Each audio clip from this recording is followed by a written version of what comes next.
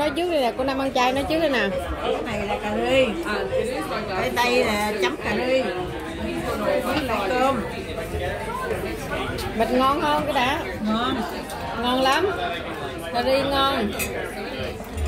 Còn này mình kêu ờ, bò stew gì đó mà nấu ra giống y chang là bò kho của mình á.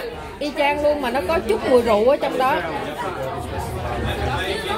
ri cô năm nè rồi mày tu đó là Tina. Salad nhà Tina ngon không? Dạ. Dạ vậy là hấp dẫn là tới Tina rồi đó. Có thể thấy ba sủ kìa. Ba sủ.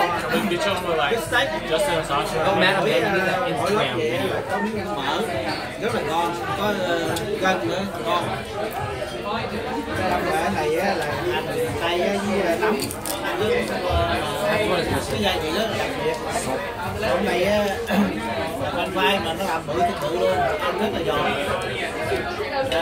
Mỹ mình làm nhỏ nhỏ nhỏ nó hấp dẫn mình này là to đúng không nè rồi kem á thì ăn fish and chip Con ăn fish and chips.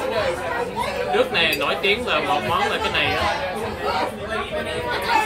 And cá làm thiệt là giòn ở ngoài mà nó trong nó nó, nó còn ướt mà nó giống như nó không khô nó juicy And cái này là là peas mà nó làm giống như mashed potato mà nó dùng peas bên đây người làm vậy á And cái này là tartar sauce làm ngon rồi uống uh, rượu uh, rượu Guinness ăn cái này ngon lắm dạ.